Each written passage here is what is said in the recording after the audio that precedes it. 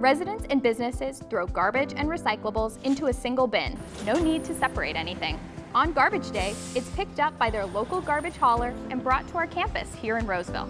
When your garbage reaches the WATMUS campus, it's dumped out of the trucks and onto the tipping floor. Then, a loader moves the garbage onto conveyor belts where it heads upstairs to begin the sorting process.